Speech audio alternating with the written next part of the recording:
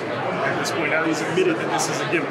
Absolutely. I've known he was a studio manager. I've welcomed this fight for the last four years. Actually going back to my career, my first, my second professional fight, he was offered to me. So I've accepted this fight four times before, and uh, he has declined each and every time. And I'm gonna be on. I'm being 100% honest with you guys. If I wasn't the undisputed champion of the world, this fight would not be happening. You know, if roles were reversed, this fight would not happen. So, you know, he had, he's, he's choosing to fight this fight because it's the only fight left. So, you know, it is what it is. But at the end of the day, you know, he's gonna have to be locked in with me. When you go through Mark, what is he getting out of that? Is he viewing that as an insult? he thinks it's an insult, but it's not an insult at all. You know, uh, just like every every kid growing up, we all have nicknames.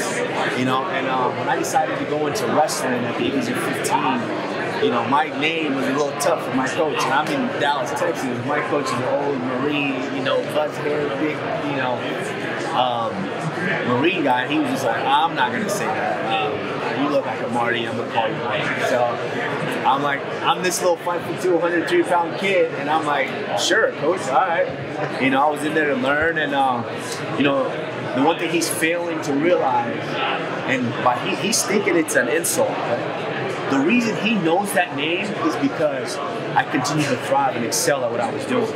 Think of if you have a kid and they, they suck at whatever they're doing at that particular point in time, they just, you know, you grow, you outgrow them. We're humans, we evolve. But I continue to accelerate. I continue to get better and better. So more and more people knew the name. So now it's not just in high school, my whole teammate, and now everyone across the state is calling me that. And now it's colleges that are recruiting me. And when the coaches call, they're like, hey, we're looking for this Kamaru kid. We're talking to my high school coach. And he's like, oh, Marty? And then now they're calling me Marty. Now he bleeds over to college. So I'm actually glad that he knows the name because that means I've done something right. What is it that you dislike about him? Does it have anything to do with his No, yes. Uh, listen, I'm not. I'm not that big of a political guy, honestly. Um, so I'm not going to pretend that I am. Uh, I know that a lot of people are unhappy with the president and what he's doing and what he's done, but you know, I don't know the man. Know, so um, I'm not just going to judge the man based on the color of his skin. So I, I don't know the man, but you know, in pretending to Colby Covington, uh, like he's already came on and said that this was a gimmick. First of all, I didn't have to sell my soul just to get the attention of you people. You know, I put my hard work in, and, and this is what a true American is about. You know, I, I grind, grinded from the bottom. I put all the work in, and now I'm sitting up here, the undisputed champion of the world, in a position where he wants to be. So it just goes to attest to the differences between us. Mark. On paper, people think it's evenly matched. We're both, I mean, it- it's crazy. We're both 15 and one. Those one lone defeats are to a guy that he beat the guy that I beat. So on paper, it seems evenly matched. But you know, when these guys step in there with me, they're stepping in that cage with an African lion, and uh, they quickly realize very soon that we're very, very different. Stamina then? Would you say is the difference maker in this fight? No, absolutely not. Like whenever you see me get tired, I've got stamina too. You know, it's when you step inside that octagon at that point, it's all about the mind and how you can use the mind, how you can see what's happening, how you can adapt to what's happening. He showed stamina against all those lesser guys that he's beat. I want to see that stamina when you get to fight me. At what point did Colby, in your mind, first move across the line? I he's crossed the line uh, a couple of times, but um, if I could really remember, because I've known of him, uh, if I could really remember, like I said, my second professional fight he was offered to me, and he turned it down. And I didn't think anything of it. I'm just a struggling fighter trying to make some money by fighting.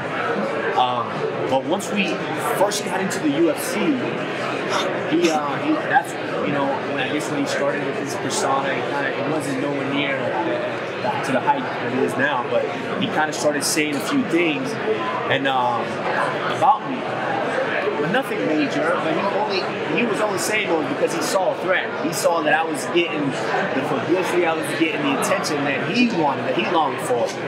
Um, so I saw him at the airport. I think it was actually in the promo in the countdown. I saw him at the airport and I said, "Oh, this guy's been running his mouth." I was fully prepared to smack him up on the airport. Fully prepared, and no lie. So I said, "You know what? I just want to find out who he is. Because that's just who I am. I want to give him the opportunity. I want to find out what's going on.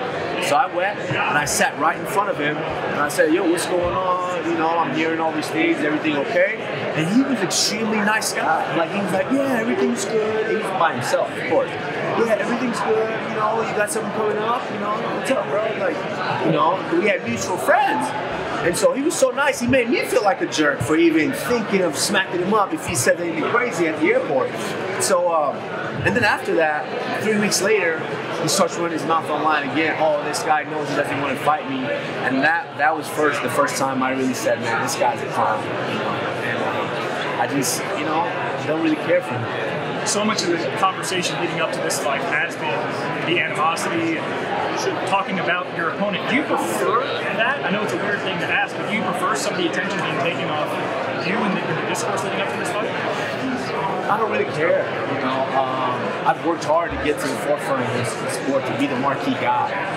You know, this is all. When I started out, this was a dream. This was the goal. This was the plan, and, uh, and we're here now. So I don't care whether the attention's on me or not. This is what I, I, I worked for. So he can do. it. I'm glad that he's doing all that. I'm glad that he's made this fight what it is. So you know, it, it's great to have challenges like this. You come believes in this game, just something really?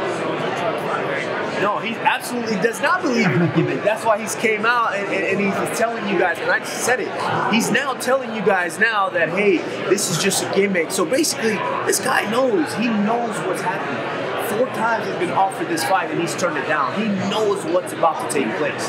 So right now he's trying to find an exit. He's trying to find a way out. Hey guys, don't hate me when I get killed on Saturday. Please don't hate me. I was just putting on an act, you know, just to entertain you guys.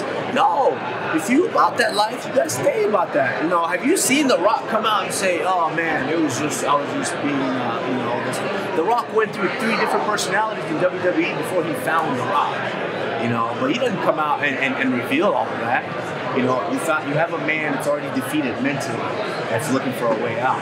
So because it's a gimmick, you think he deserves the accolades and the attention of this? No. No. I mean, you know, it is what it is. I mean, still a guy acting outlandish. And I, am let's be honest here, he can fight. I'm not disrespecting the fact that this kid can fight. You know, I give respect where respect is due. I'm no hater. He can fight. He's earned the right to be in there with me. But it's my job Saturday night to show him that there's a difference between him and I. Do you think he's got more attention than the champ, the undisputed champ? Absolutely not. Because guess what? You know, if I don't have, if, if I'm not the champion, if I'm not willing to fight who gives a shit? He's just another fighter. You know, he's just gonna fight. He's gonna go home and sit at home.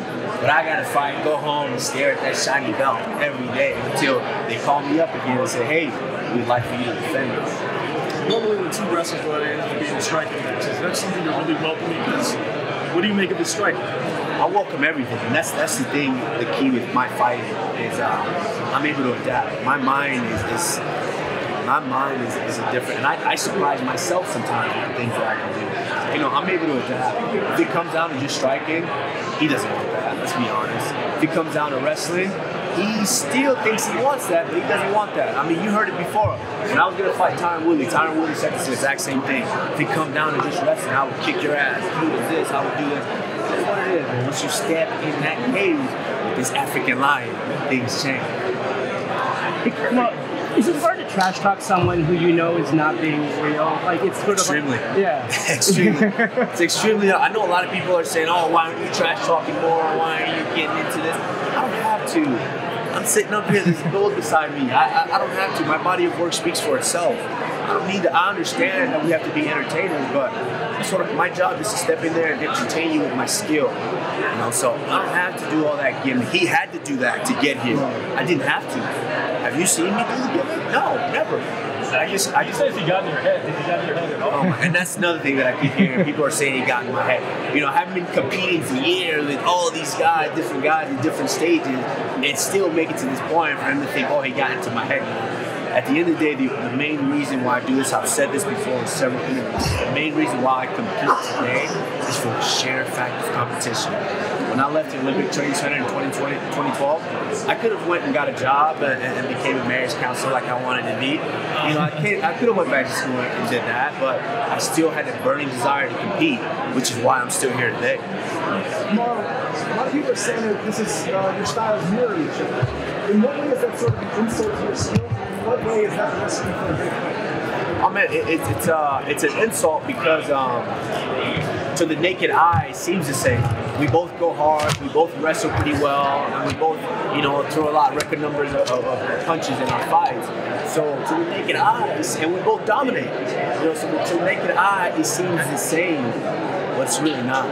The way that I use my mind, the way that I set things up, the way that I corner guys, the way that I trap them, the way that I make certain guys work is completely different. And you guys will get a front row seat to find that out on Saturday night.